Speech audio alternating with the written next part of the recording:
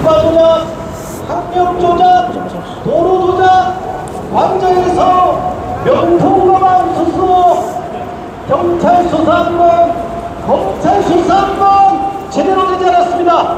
여러분, 이게 정의로운 대한민국의 모습이 맞습니까? 그래서 우리 야당들이 똘똘 힘을 합쳐서 김건희 특검을 국회에서 통과시킨 거 아닙니까 여러분? 그런데 뻔뻔한 윤석열 정권의 청와대 국회에 이렇게 더운데. 아, 내가 덜 모자 쓰고 있다. 이렇게 더운데. 모자를 하면서 머리, 머리에 땀 나가지고 벗을 수도 없고. 여러분?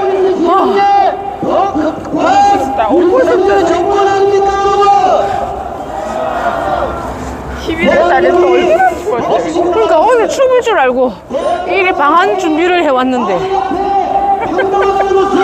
금방 보자. 보여줘야 되지 않겠습니까 여러분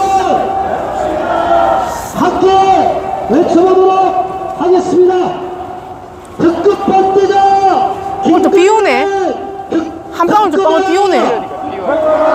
지켜봐라, 지켜봐라. 주가 조작 학력 조작 도로 조작 김건희를 특검하라 지켜봐라, 지켜봐라, 지켜봐라. 명품 가방 수수 후 김건희를 특검하라 지켜봐라, 지켜봐라, 지켜봐자.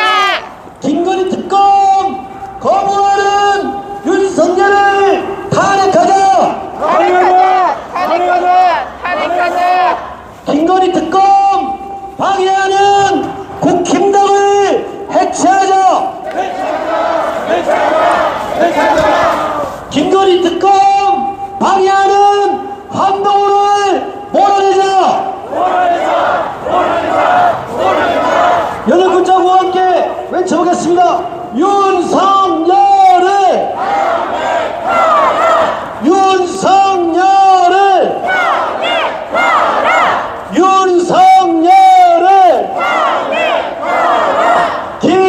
김건희를 특검! 특검! 김건희를 특검! 특검! 김건희를 특검! 구속!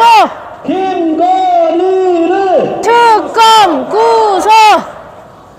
얼마 전 유명 연예인이 운명을 달리했습니다. 한 사람의 제보만 믿고 정치검찰과 조중동 폐륜 언론이 한 사람 죽이기에 나섰습니다. 그 연예인의 마약 사건이 터진 날 무슨 일이 있었습니까? 윤석열이 가장 아끼는 비서관의 아이의 학폭 사건이 발생했습니다. 우리는 합리적으로 그 학폭 사건을 덮기 위해서 한 연예인의 마약 사건이 시작되었다고 생각하고 있습니다. 여러분 동의하십니까? 맞습니다. 윤석열 정권의 정치검찰과 조중동 폐륜 언론이 마음만 먹으면 그 사람이 유명 연예인이건 어떤 사람이건 야당의 제일 대표든 죽음으로 또는 정치적으로 사왕 성노하게 만들겠다는 것이 윤석열 정권의 검찰 독재 공화국 아닙니까 여러분?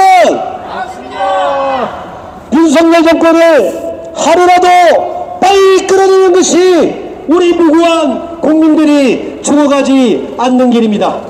이태원 참사, 오송 참사, 수해 참사, 정치검찰의 강압적인 마약 수사로 우리 국민들이 더 이상 죽어가게 만들어서는 안 되겠습니다. 여러분 동의하십니까?